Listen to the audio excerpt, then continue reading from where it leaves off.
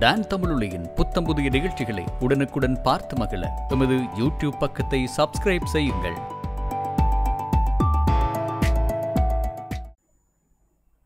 வணக்கம். டான் தமிழொலியின் காலை நேர பிரதான செய்திகள். செய்திகளுக்காக இணைந்திருக்கும் நான் கிருசாயினி உருதிரராசன். முதலில் உள்நாட்டுச் செய்திகள்.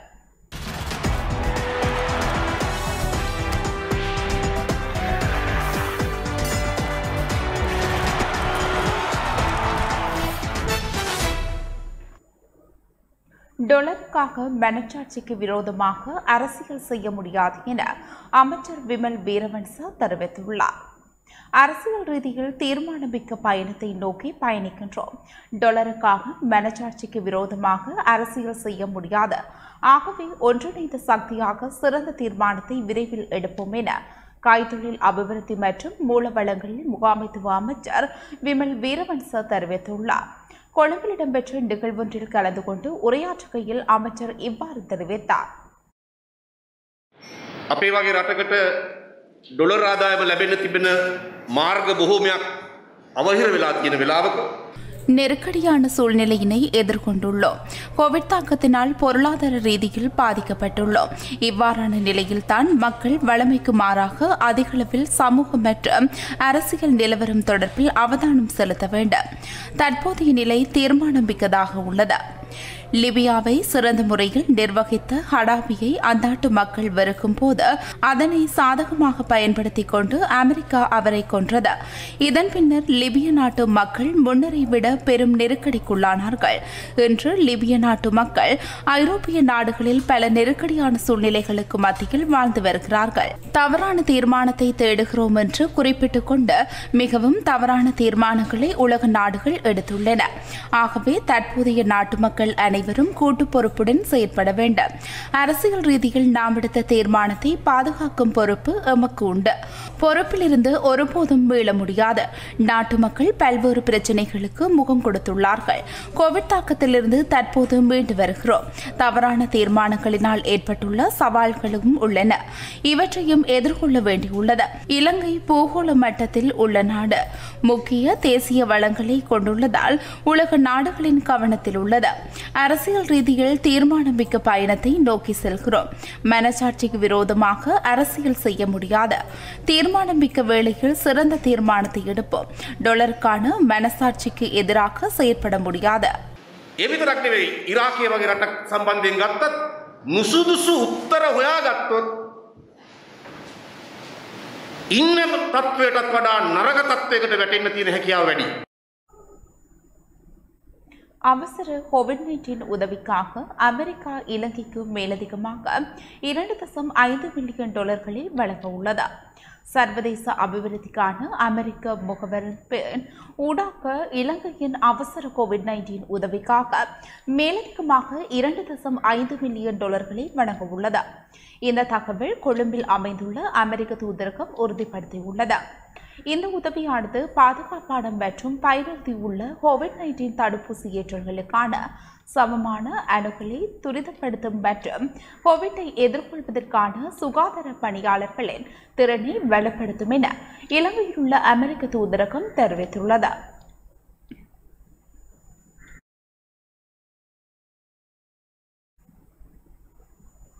கமரல சேவை உத்தியோகத்தர்களுக்கும் ஜனாதிபதிக்கும் இடையே கலந்துரையாடல் இடம்பெற்றுள்ளது. சரியானதை செய்வது பாரிய சவாலாகும். அதற்கு ஒன்றிணைந்து முகம் கொடுப்பதுடன் முன்னோக்கி பயணிப்பதன் மூலம் எதிர்பார்க்கும் இலக்கை அடைந்து கொள்ள முடியும் என ஜனாதிபதி கோட்டாபய ராஜபக்ச தெரிவித்தார். கமநல சேவைகள் உத்தியோகத்தர்களுடன் வீடியோ தொழில்நுட்பத்தின் ஊடாக இடம்பெற்ற கலந்துரையாடலின் போதே ஜனாதிபதி இவ்வாறு குறிப்பிட்டார். விவசாயிகள் முகம் கொடுக்கும் அசௌகரியங்களுக்கான தீர்வுகளை பெற்றுக் கொடுப்பதன் மூலம் எதிர்பார்க்கும் இலக்கை நோக்கி பயணிக்க முடியும். விவசாயிகளை சந்தித்து விடயங்களை தெளிவுபடுத்துவது மிகவும் முக்கியம். சுற்றாடலையும் பொதுமக்களின் சுகாதாரத்தையும் பாதுகாப்பதுடன் அதிக லாபத்தை விவசாயிகளுக்கு பெற்றுக் கொடுப்பதே அரசாங்கத்தின் முக்கிய எதிர்பார்ப்பாகும் ஒரு போகம் இரு போகத்திற்கு மாத்திரமன்றி பல சந்ததியினரை பயன்பெற செய்வதே பசுமை விவசாயத்தின் இலக்காகும். விவசாயிகள் முகம் கொடுக்கும் பிரதான பிரச்சனையை அடையாளம் கண்டு அது தொடர்பாக அரசாங்கத்தை அறிவுறுத்துவது அதிகாரிகளின் பொறுப்பாக. அப்போது அந்த பிரச்சினைக்கு தீர்ப்பதற்கான விசேட ஒத்துழைப்பை பெற்றுக் கொள்ள முடியும். தவறான விடயம் ஒன்றை செய்யுமாறு எவரிடமும் எப்போதும் கூற மாட்டேன். பசுமை விவசாயத்தில் ஈடுபடுவதால் பயிரிடப்படும் நில அளவை குறைக்க இடமளிக்க முடியாது. சேதன பசலை பயன்பாட்டுடன் முன்னோக்கிய பயணிப்பதற்காக விவசாயிகளை ஊக்கப்படுத்துவது நாட்டுக்கான அனைவரதும் பொறுப்பாகும் உலகம் ஏற்றுக்கொண்டுள்ள உயர் சுற்றாடல் பாதுகாப்புடன் கூடிய உரத்தை விவசாயிகளுக்கு வழங்குவதற்காக நைட்ரஜன் உரத்துடன் திரவ நைட்ரஜனை பெற்றுக்கொள்வதற்கு அரசாங்கம் நடவடிக்கை எடுத்தது. நானோ தொழில்நுட்பத்தை பயன்படுத்தி உற்பத்தி செய்யப்பட்ட இந்த திரவ உரத்தில் உள்ள நைட்ரஜன் கூறு இலைகளின் மூலமாக நேரடியாக உள்ளீர்க்கப்படும். அந்த திரவ நைட்ரஜனை எதிர்காலத்தில் அனைத்து விவசாயிகளுக்கும் வழங்குவதற்கு அரசாங்கம் நடவடிக்கை எடுக்க என ஜனாதிபதி தெரிவித்தார். விளைச்சல் குறைவதால் தொடர்பாக விவசாயிகளுக்கு தேவையற்ற அச்சநிலை ஏற்பட்டிருப்பதோடு உரிய நேரத்திற்கு உரத்தை விவசாயிகளின் கையலுக்கு வழங்குவதற்கு அதன் மூலமும் சரியான தெளிவூட்டல்களை விவசாயிகளுக்கு பெற்றுக் கொடுப்பதன் மூலமும் விவசாயிகளுக்குள் இருக்கும் பயம் மற்றும் பின்வாங்கும் தன்மையை நிவர்த்தி செய்து கொள்ள முடியும் என குறிப்பிட்ட கமநல சேவை உத்தியோகத்தர்கள் விவசாயிகள் உற்பத்தி செய்கின்ற சேதன பசலையின் தரம் மற்றும் சிறப்பு தன்மையை பரிசீலிக்கும் வசதிகள் போதுமான அளவில் இல்லை என்பதால் அவ்வசதிகளை விரிவுபடுத்தி தருமாறு ஜனாதிபதியிடம் கேட்டுக்கொண்டனர். விவசாயிகளுக்கு அரசாங்கம் வழங்கியுள்ள ஊக்க கொடுப்பனவுகள் அடிப்படை கொடுப்பனவுகள் என்பன தற்போது வழங்கப்பட்டு வருகின்றன. எதிர்கால போகங்களின் போது சேதன பசலை உற்பத்திக்கு அவசியமான மூலப்பொருட்களை பெற்றுக்கொள்வதற்காக திட்டம் வகுக்கப்பட்டு வருவதாகவும் உத்தியோகத்தர்கள் குறிப்பிட்டனர். ஜனாதிபதியின் செயலாளர் பி பி ஜெயசுந்தரர் ஜனாதிபதியின் தலைமை ஆலோசகர் லலித் வீரதுங்க. ஆகியோருடன் கமத்தொழில் அமைச்சின் சிரேஷ்ட அதிகாரிகள் எட்டு மாவட்டங்களை பிரதிநிதித்துவப்படுத்த வகையில் மாவட்ட உதவி மற்றும் பிரதி கமநல சேவை ஆணையாளர்கள் பிரதேச கமநல சேவை உத்தியோகத்தர்கள் உள்ளிட்டோர் இக்கலந்துரையாடலில் கலந்து கொண்டிருந்தனர்.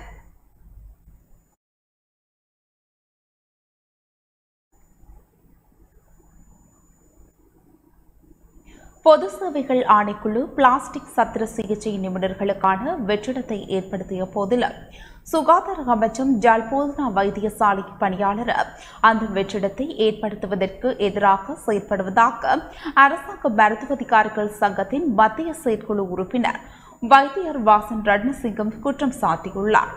கொழும்பில் நேற்று இடம்பெற்ற ஊடகவியலாளர் சந்திப்பில் அவர் இவ்வாறு தெரிவித்தார்.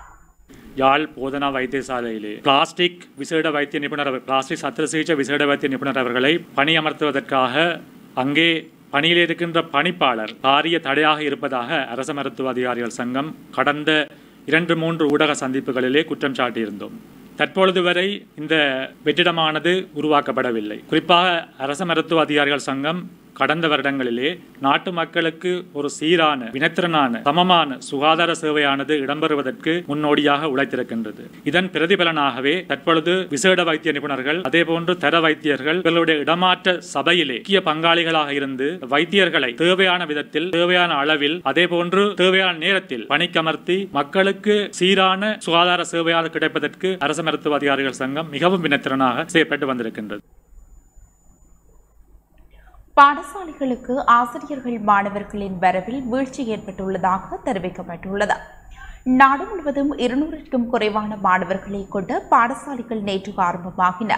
முதல் நாளான நேற்று பதினாறு வீதமான மாணவர்கள் இருபத்தி ஆறு வீதமான ஆசிரியர்களும் மட்டுமே வருகை தந்தனர் என கல்வி அமைச்சின் செயலாளர் பேராசிரியர் கபில பெரேரா தெரிவித்தார். வடக்கு கிழக்கு மாகாண பாடசாலைகளில் முப்பத்தி ஒன்பது வீத மாணவர்களும் நாற்பத்தி ஐந்து வீத ஆசிரியர்களும் சமூகம் அளித்திருந்தனர் மேற்கு மாகாணத்தில் ஏழு வீத மாணவர்களும் ஆசிரியர்களும் ஏனைய மாகாணங்களில் பதினைந்து தொடக்கம் பதினெட்டு வீத மாணவர்களும் ஆசிரியர்களுமே பாடசாலைகளுக்கு சமூகம் அளித்தனர். ஆசிரியர்கள் அதிபர்கள் தொழிற்சங்கங்கள் பாடசாலைகளை புறக்கணிக்க விரும்பினாலும் அவர்களில் பெரும்பாலானோர் பாடசாலைகளுக்கு வருகை தரவே விரும்புகின்றனர். இணையவழி கற்பித்தலை விட நேரடியான வகுப்பறை கற்பித்தலையே அவர்கள் அதிக ஆர்வம் கொண்டுள்ளனர் என கபில பிரிகிறா தெரிவித்தார்.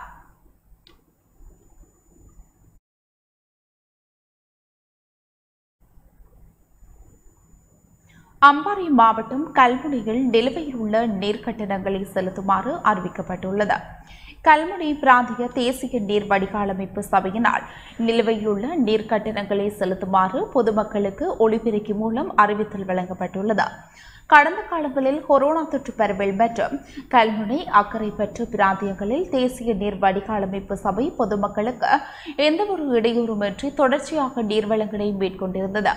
இந்த சூழ்நிலையில் பொதுமக்கள் பலர் கடந்த மூன்று மாத காலங்களாக நீர் கட்டணங்களை செலுத்த தவறியுள்ளதாகவும் இதனால் தேசிய நீர் வடிகாலமைப்பு சபை பல அசௌகரியங்களுக்கு முகம் கொடுத்துள்ளதாகவும் தேசிய நீர் வடிகாலமைப்பு சபை அறிவித்துள்ளது. இதனிடையே நிலுவையில் உள்ள நீர்க்கட்டணங்களை எதிர்வரும் இருபத்தி ஆறாம் தேதிக்கு முன்பாக கட்டி முடிக்குமாறு கேட்கப்பட்டுள்ளன.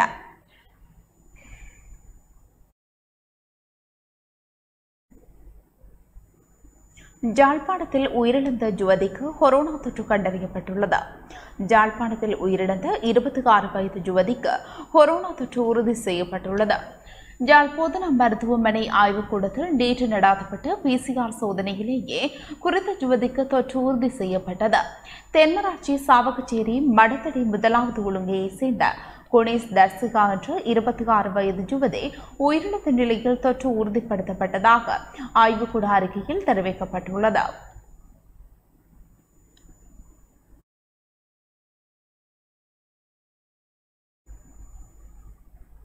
காரைநகர் பிரதேச சபையின் தவிசாளர் கொரோனா தொற்றால் உயிரிழந்தார்.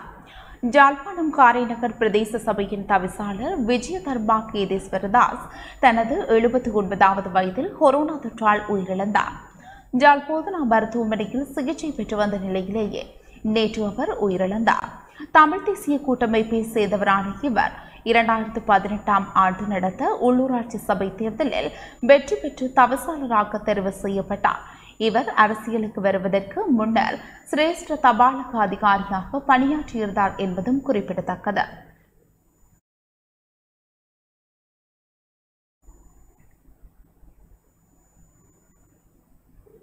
தமிழ் மக்கள் தமது பிள்ளைகளை நினைக்கும் உரிமையும் நாட்டில் மறுக்கப்படுவதாக நாடாளுமன்ற உறுப்பினர் எஸ். ஸ்ரீதரன் தெரிவித்தார். தமிழ் மக்களுக்கு தமது பிள்ளைகளை நினைக்கின்ற உரிமை கூட இந்த நாட்டில் மறுக்கப்படுகின்றது என தமிழ் தேசிய கூட்டமைப்பின் நாடாளுமன்ற உறுப்பினர் சிவஞானம் ஸ்ரீதரன் தெரிவித்துள்ளார். நாடாளுமன்ற அமர்வில் உரையாற்றும் போதே இவ்வாறு குறிப்பிட்டார். ரெண்டாயிரத்தி ஒன்பதாம் ஆண்டு பல சிறுவர்கள் அஹ், ராணுவத்திடம் கையளிக்கப்பட்டார்கள். தாய் தந்தையர்களோடு இவர்கள் ஒப்படைக்கப்பட்டார்கள். உயிரோடு சரணடைந்த இந்த குழந்தைகள் இவ்வாறு ராணுவத்திடம் ஒப்படைக்கப்பட்டவர்கள் எங்கே? இவர்களுக்கு என்ன நடந்தது? இவ்வளவு காலமும் இதற்கான ஒரு நீதி இந்த மண்ணிலே கிடைக்கவில்லை. ஜெனிவாவிலே பிரேரணை வருகிற பொழுது அந்த ஜெனீவாவுக்கான அறிக்கை சமர்ப்பிக்கப்படுகிற பொழுதுதான் இந்த விடயங்கள் பேசப்படுகின்றன. இதுக்கு ஒரு நீதி இந்த நாட்டிலே கிடைக்காதா? இன்றைக்கும் பதினேழு பெண்கள் குழந்தைகளோடு சிறையிலே இருக்கிறார்கள் தமிழ் பெண்கள். கடந்த மூன்று மாதங்களுக்குள் யாழ்ப்பாணம் கிளிநொச்சி மாவட்டங்களைச் சேர்ந்த முப்பத்தி ஒன்பது பேர் பயங்கரவாத தடைச்சட்டத்தின் கீழ் இரவிரவாக கைது செய்யப்பட்டிருக்கிறார்கள். பாதிக்கப்பட்ட தமிழர்கள் தொடர்ந்தும் பாதிக்கப்பட்டவர்களாகவே இருக்கிறார்கள். அவர்கள் ஒன்று கூடுகின்ற வணக்கம் செலுத்துகின்ற தங்களுடைய பிள்ளைகளை நினைக்கின்ற அந்த உரிமை கூட இந்த நாட்டிலே மறுக்கப்பட்டிருக்கிறது. சர்வதேச நாடுகள் புரிந்து கொள்ள வேண்டும். நாங்கள் இப்பொழுதும் என்ன நிலைமையிலே இருக்கிறோம் என்று. இந்த ஒப்படைக்கப்பட்ட கண்கண்ட சாட்சியம் உள்ள குழந்தைகள் இவர்களுக்கு என்ன கிடைக்க போகிறது? நாட்டின் நீதித்துறையினால் நீதி நிலைநாட்டப்படுவதில் பாரிய பின்னடைவு உள்ளதாக நாடாளுமன்ற உறுப்பினர் கஜேந்திரகுமார் பொன்னம்பலம் தெரிவித்தார். நாட்டில் நீதித்துறையினால் நீதி நிலைநாட்டப்படுவதில் பாரிய பின்னடைவு. நீதித்துறையில் விடுபட்ட நிலையிலேயே அதிகமாக காணப்படுகின்றது. அனுராதபுரம் சிறைச்சாலையில் தமிழ் அரசியல் கைதிகளுக்கு எதிரான செயற்பாடுகளில் குற்றவாளிகள் பாதிக்கப்பட்டுள்ளமை. இதற்கு நல்ல உதாரணம் என தமிழ் தேசிய மக்கள் முன்னணியின் தலைவரும் நாடாளுமன்ற உறுப்பினருமான கஜேந்திரகுமார் பொன்னம்பலம் சபையில் தெரிவித்தார். நாடாளுமன்றத்தில் இன மாதவர்கள் இளந்தவரானவர்கள் திருத்த சட்ட மூலம் மற்றும் தண்டனை சட்ட கோவை திருத்தச் சட்டம் மூலம் மீதான விவாதத்தில் உரையாற்றும் போதே நாடாளுமன்ற உறுப்பினர் கஜேந்திரகுமார் பொன்னம்பலம் இவ்வாறு குறிப்பிட்டார். நிதியமைச்சர் மூலமாக கொண்டுவரப்பட்டுள்ள சட்டமூலங்கள் பகுதி பகுதியாக முன்வைக்கப்பட்டுள்ளது. குறிப்பாக குற்றவியல் சட்டத்தில் திருத்தங்கள் போன்றவை தனித்தனியாக முன்வைக்கப்பட்டுள்ளன. ஆகவே இவ்வாறு முன்னெடுப்பது கடினமானது. குழப்பங்களையும் ஏற்படுத்தும் ஒரு சில சந்தர்ப்பங்களில் சவாலுக்கும் உட்படுத்தக்கூடியதாக. உட்படும் வேளையில் எம்மாலும் பல காரணிகளை தவறவிட நேரிட. அதேபோல் தண்டனை சட்டக்கோவையில் சில திருத்தங்கள் கொண்டு வரப்பட்டுள்ளன அதனை நாம் வரவேற்கின்றோம். ஆனால் மரண தண்டனை குறித்து ஏன் இறுக்கமான தீர்மானங்கள் எடுக்கப்படவில்லை என்ற கேள்வி எழுகின்றது இந்த நாட்டில் ஆயிரத்தி தொள்ளாயிரத்து எழுபத்தி ஆறாம் ஆண்டு தொடக்கம் மரண தண்டனை தரப்பட்டுள்ளது. இதுவும் தடுக்கப்பட்டுள்ள அதேவேளை ஏதேனும் காரணிகளை கொண்டு இவை தடுக்கப்படுகின்றன. அப்போதெல்லாம் ஏன் இதனை முழுமையாக நீக்க முடியாது? நல்லாட்சி அரசாங்கத்தில் இது குறித்து தீர்மானங்கள் எடுக்கப்பட வேண்டிய வேளையில் அவை இறுதியாக்கப்படவில்லை. அது மட்டுமல்ல மரண தண்டனை குற்றங்கள் குறைக்காது என்பதை நாம் வலியுறுத்துகின்றோம். மரண தண்டனை இந்த நாட்டில் குற்றங்களை குறைத்ததாக எங்கும் உறுதிப்படுத்தப்படவில்லை. விஞ்ஞானபூர்வமாக இது நிரூபிக்கப்படவில்லை. ஆகவே இந்த விடயங்களை கவனம் செலுத்துமாறு நீதியமைச்சரை வலியுறுத்துகின்றோம். மேலும் நீதித்துறையில் நீதியை நிலைநாட்டுவதில் பாரிய பின்னடைவு உள்ளது. இந்த அரசாங்கம் மட்டுமல்ல இதற்கு முன்னர் ஆட்சியில் இருந்த சகல அரசாங்கங்களையும் நான் சுட்டிக்காட்ட விரும்புகின்றேன். நீதித்துறையில் விடுபட்ட நிலையிலேயே அதிகமாக உள்ளது. குற்றவாளிகளுக்கு தண்டனை பெற்றுக் கொடுக்கும் பொறிமுறையில் விடுபட்ட நிலைமையே காணப்படுகின்றது.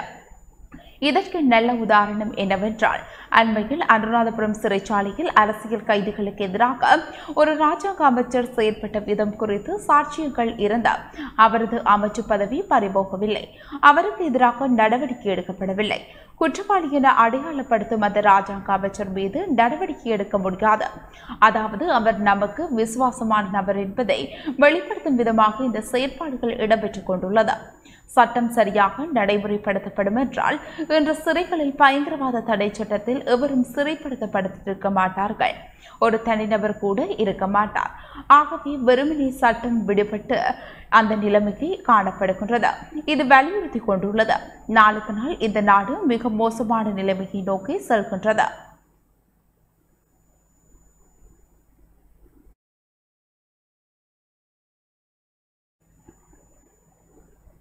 அனுராதபுரம் சிறைச்சாலையில் இடம்பெற்ற சர்ச்சைக்குரிய சம்பவத்தில் ராஜாங்க அமைச்சர் லோகான் ரத்வத்தவின் செயற்பாடு தொடர்பாக விசாரணைகளை முன்னெடுக்குமாறு உயர்நீதிமன்றால் உத்தரவிடப்பட்டுள்ளது. அனுராதபுரம் சிறைச்சாலையில் உள்ள தமிழ் அரசியல் கைதிகள் விரும்பும் சிறைச்சாலைக்கு இடமாற்றம் செய்ய உயர் நீதிமன்ற கட்டளை வழங்கியுள்ளதோடு லோகான் ரத்வத்தைக்கு எதிராக குற்றவியல் நடவடிக்கை எடுக்குமாறு போலீஸ் மா அதிபருக்கு உத்தரவு பிறப்பிக்கப்பட்டுள்ளது. அனுராதபுரம் சிறைச்சாலைக்கு சென்று ராஜாங்க அமைச்சர் லோகான் ரத்வத்த தமிழ் அரசியல் கைதிகளை முழங்காலிட செய்து அவர்களது தலையில் கைத்துப்பாக்கி வைத்து அச்சுறுத்தியமைக்கு எதிராக அடிப்படை மனித உரிமை மீறல் மற்றும் சித்திரவதையின் கீழ் தாக்கல் செய்யப்பட்ட வழக்கு இன்றைய தினம் விசாரணைக்கு எடுத்துக் கொள்ளப்பட்டது. உயர்நீதிமன்ற நீதியரசர்களான காமரி அமரசேகர ஜசந்த கோத்துகொட ஜனக் டி சில்வா ஆகியோர் முன்னிலையிலேயே வழக்கு விசாரணைகள் இடம்பெற்றன. இதன்போது ராஜாங்க அமைச்சர் மற்றும் அனுராதபுரம் சிறைச்சாலை அத்தியட்சகர்களுக்கு எதிராக சித்திரவதை குற்றச்சாட்டு முன்வைக்கப்படுவதனால் இவர்கள் சார்பில் தாம் ஆயராகவில்லை என சட்டம் அதிபர் சார்பில் தெரிவிக்கப்பட்டது. வழக்கை ஆராய்ந்த நீதியரசர்கள் சட்டத்திரணிகளின் கோரிக்கைகளை ஆராய்ந்து அனுராதபுரம் சிறைச்சாலையில் உயிர் அச்சுறுத்தலை எதிர்நோக்கி தடுப்பு காவல் கைதிகளை அவர்கள் விரும்பினால் விருப்பம் கோரும் சிறைச்சாலைக்கு மாற்றுமாறு அல்லது அனுராதபுரத்தில் இருக்க சம்மதம் தெரிவித்தால் அங்கேயே இருக்க முடியும் எனவும் கட்டளை பிறப்பித்தனர். அத்தோடு ராஜாங்க அமைச்சரான லோகான் ரத்வத்துக்கு எதிராக போலீஸ் அதிபர் சட்டம் அதிபரின் ஆலோசனையுடன் குற்றவியல் நடவடிக்கையின் கீழ் அறிக்கை பெற்று மன்றில் சமர்ப்பிக்குமாறும் உயர்நீதிமன்ற நீதியரசர்கள் இடைக்கால கட்டளையிட்டு வழக்கை சித்திரவதை மற்றும் சட்டத்தின் கீழ் சமமான பாதுகாத்தல் இனமொழி பாகுபாடு ஆகிய மூன்று விடயங்களின் அடிப்படையில் விசாரணைக்கு ஏற்றுக்கொண்டனர். வழக்கு தொடு சார்பில் ஜனாதிபதி சட்டத்திரணி எம். ஏ. சுமந்திரன் மற்றும் சட்டத்திரணிகளான தானா ஜெயசிங்கம் கேசவன் சயந்தர் ஆகியோர் ஆஜராகியிருந்தனர்.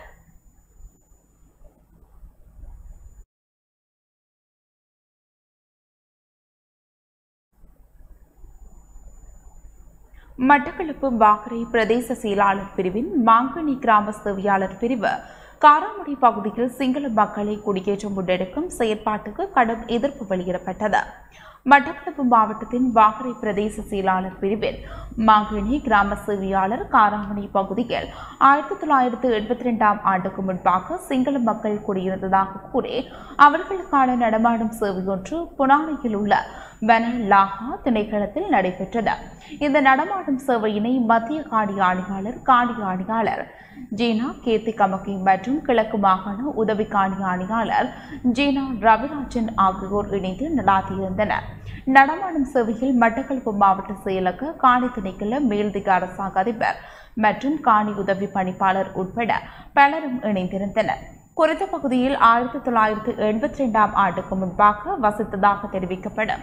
சிங்கள மக்களின் ஆவணங்கள் பரிசோதிக்கப்பட்டு அவர்களுக்கான காணிகளை வழங்குவதற்கான நடவடிக்கைகள் முன்னெடுக்கப்பட்டிருந்தன. இதன்போது அங்கு சென்ற மட்டக்களப்பு மாவட்ட தமிழ் தேசிய கூட்டமைப்பின் நாடாளுமன்ற உறுப்பினர் ரா சாணக்கியன் தலைமையிலான குழுவினர் குறித்த செயற்பாடுகள் தொடர்பில் கடுமையான எதிர்ப்பினை தெரிவித்தனர்.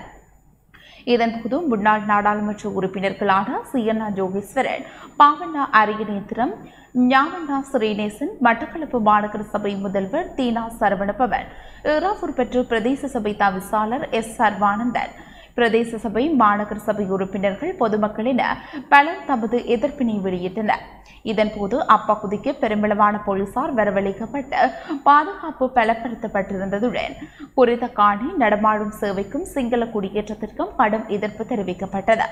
இதனைத் தொடர்ந்து குறித்த பகுதியில் எதுவிதமான குடியேற்றமும் செய்யப்படாது எனவும் காணி ஆவணங்கள் மட்டும் பரிசோதனைக்கு செய்யப்பட்ட பின்னர் அவர்களுக்கு வேறு இடங்களில் காணி வழங்க நடவடிக்கை எடுக்கப்படும் என காணி ஆணையாளரினால் நாடாளுமன்ற உறுப்பினர் ரா உறுதியளிக்கப்பட்டது.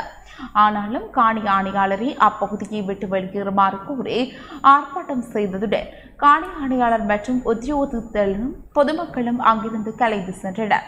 மட்டக்களப்பு மாவட்ட நாடாளுமன்ற உறுப்பினரும் மாவட்ட அபிவிருத்தி குழு தலைவருமான சந்திரகாந்தன் மற்றும் ராஜாங்க அமைச்சர் வியாலேந்திரன் போன்றவர்கள் இவ்வாறான சம்பவங்கள் நடக்கும் போது கொழும்பிலும் வெளிநாடுகளிலும் சென்று ஒளிந்து கொள்வதாகவும் போராட்டத்தில் கலந்து கொண்டவர்கள் குற்றம் சாட்டினர். ஆயிரத்தி தொள்ளாயிரத்து எழுபத்தி ஆறாம் ஆண்டு மட்டக்களப்பு மாவட்ட செயலகத்தினால் எங்களுக்கு விவசாயம் மேற்கொள்வதற்கு ஐந்து ஏக்கர் வழங்கப்பட்ட தமது காணியை அடையாளப்படுத்தும் வகையில் வருகை தந்ததாக தெரிவித்துள்ள சிங்கள மக்கள் தமது காணிகள் வேறு நபர்களால் பராமரிக்கப்பட்டு வருவதாக இருந்தால் மாற்று காணி வழங்குமாறு கோரிக்கை விடுத்திருந்தனர். பெரும்பான்மை இனத்தவர்களை திட்டமிட்ட அடிப்படையில் இங்கு வந்து குடியேற்றுவதன் மூலமாக இன விகிதாசாரத்தை மாற்றி அமைப்பதன் மூலமாக இந்த பகுதிகளிலையும் நாங்கள் எதிர்காலத்தில் ஒரு சிறுபான்மை சமூகமாக இந்த மாவட்டத்தில் வாழ்வதற்குரிய ஒரு நீண்ட கால திட்ட அடி- திட்டமிட்ட அடிப்படையில் செய்கின்றார்கள். இதில் என்ன விடயம் என்றால் எங்களிடம் அதிகாரிகளாக இருக்கின்றவர்கள் சிலர் இந்த விடயங்களை பற்றி மிகவும் வேதனைப்படுகின்றவர்களும் இருக்கின்றார்கள். சிலர் தங்களுடைய பதவிகளை பாதுகாத்துக் கொள்வதற்காக அந்த விடயங்களை பரம ரகசியங்களாக பரம ரகசியங்களாக வைத்து பாதுகாக்கின்றவர்களும் இருக்கின்றார்கள். இந்த இடத்தில் மிகவும் வேதனையான விடயம் என்னவென்றால் அபிவிருத்தி குழு தலைவர் எப்போதும் கிழக்கு மீட்பர் கிழக்கை பாதுகாக்கின்றவர் கிழக்கின் ரட்சகர் என்ற அடிப்படையில் பேசிக் கொண்டிருக்கின்றார். ராஜாங்க அமைச்சரும் கிழக்கை பாதுகாப்பது கிழக்கை பாதுகாப்பது என்று சொல்லுகின்றார்கள். ஆனால் கிழக்கு பறிபோகின்ற போராட்டங்கள் வருகின்ற போது இவர்கள் இந்தியாவிலோ கொழும்பிலோ தங்கி இருந்து கொண்டு நாங்கள் இங்கே இல்லை என்று சொல்லுகின்றார்கள். அதே நேரத்தில் எங்களுடைய சகோதர முஸ்லிம் இனங்களும் இங்கே வாழ்ந்து கொண்டிருக்கின்றார்கள் என்பது எங்களுக்கு தெரியும். அவர்கள் சார்ந்த பாராளுமன்ற உறுப்பினர்களும் இந்த இடத்தில் வரவில்லை என்பது எங்களுக்கு மனவேதனையான விடயம்.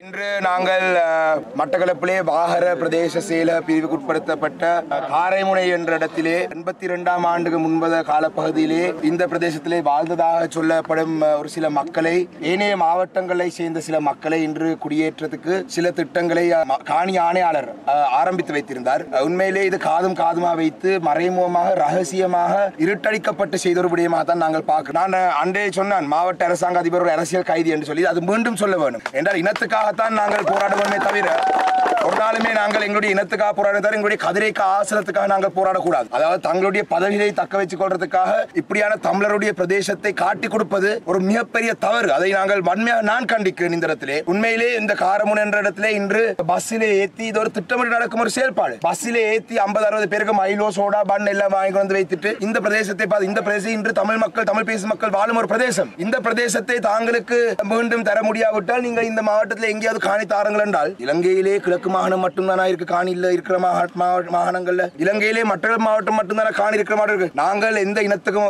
எதிரானவர்கள் அல்ல. நாங்கள் சிங்கள மக்களுக்கு எதிரானவரும் அல்ல இஸ்லாமிய மக்களுக்கு எதிரானவர்கள் அல்ல. ஆனால் நாங்கள் நீதிக்காக போராடுறோம். அந்த அடிப்படையிலே இந்த காடு பிரதேசங்களை அழித்து புதிதாக காணிகளை வழங்கினால் யானை மனிதன் தொல்லை இப்பவே பெரிய பெரிய பிரச்சனை மாவட்டத்தில் இருக்கு. அதாவது வெள்ளாவடியா இருக்கட்டும் எந்த பிரதேசம் இருந்தாலும் இன்று யானை ஊட்டு ஊருக்குள்ளே வந்து நடமாடி போற நிலைமை வந்திருக்கு. இன்னும் இந்த காடுகளை அழிக்க அழிக்க அழிக்க யானை வந்து எங்களோட ஊர்ல இருக்க போகுது. அப்ப நாங்கள் நாங்க மக்களுக்கும் மயானுக்கும் இருக்கிற பிரச்சனை எப்படி தீர்க்கணும் தெரியாம இருக்கும் பொழுது இப்படி இருநூறு பேருக்கு ஆறு ஏக்கர் ஐந்து ஏக்கர் எங்கள் மாவட்டத்தில் வளங்கள் அளித்து கொடுத்தால் அப்புறம் இந்த மாவட்ட மக்கள் எங்க போய் வாழ வேணும்ன்றதை கேட்க வேணும் உண்மையிலே கவலையான ஒரு விடயம்.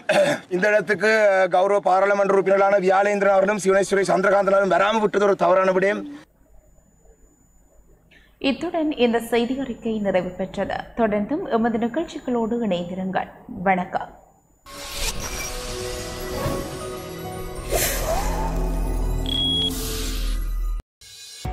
டான் தமிழொலியின் புத்தம் புதிய நிகழ்ச்சிகளை உடனுக்குடன் பார்த்து மகிழ எமது யூடியூப் பக்கத்தை சப்ஸ்கிரைப் செய்யுங்கள்.